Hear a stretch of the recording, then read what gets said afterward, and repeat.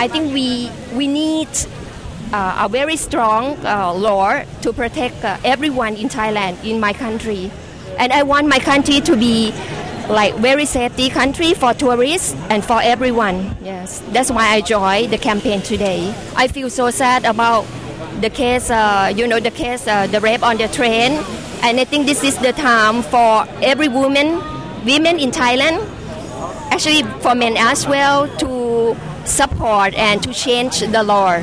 I come here because I, I think that the law should put the rapist or the rape, um, you know, to be um, to put to death penalty because it's because I think Thailand now they think rape is just a, a normal incident and that it's even though you, you rape a lady and she doesn't die or you don't kill kill her, it's still she's she's dead inside already, and even um, it, worse to even kill her and rape her.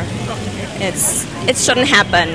This is my first time like this, but I hope that I'm just you know a mashed potato, just only one person, but I hope that my voice can change the law as well. I hope that I wish. And I think it's becoming there's more and more rape incident. So I think it's time we should do something to stop.